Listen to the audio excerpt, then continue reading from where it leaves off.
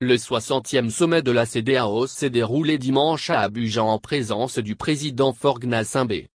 Les dirigeants ouest-africains ont exprimé leur forte préoccupation quant au processus de transition en Guinée et au Mali. Ils ont déploré l'absence d'indicateurs clairs d'un éventuel retour à l'ordre constitutionnel. En ce qui concerne la Guinée, le sommet s'est félicité de la décision récente des autorités de transition de permettre à l'ancien président Alpha Condé de rentrer chez lui librement. Publicité. Toutefois, la CDAO reste très préoccupée par le fait que plus de trois mois après le coup d'État, un chronogramme pour le retour à l'ordre constitutionnel n'a toujours pas été publié. Elle demande aux autorités de la transition de soumettre rapidement le chronogramme pour les élections devant se tenir dans le délai arrêté.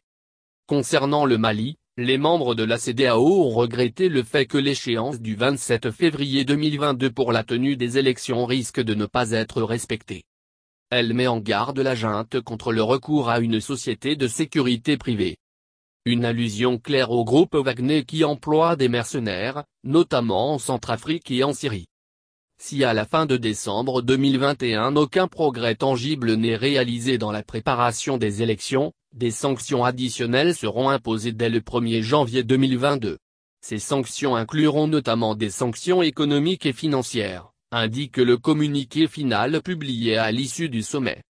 Enfin, les dirigeants africains se sont déclarés préoccupés par la détérioration de la situation sécuritaire au Sahel, caractérisée par la récurrence des attaques terroristes au Burkina Faso, au Mali, au Niger et au Nigeria, et l'extension des attaques aux pays côtiers.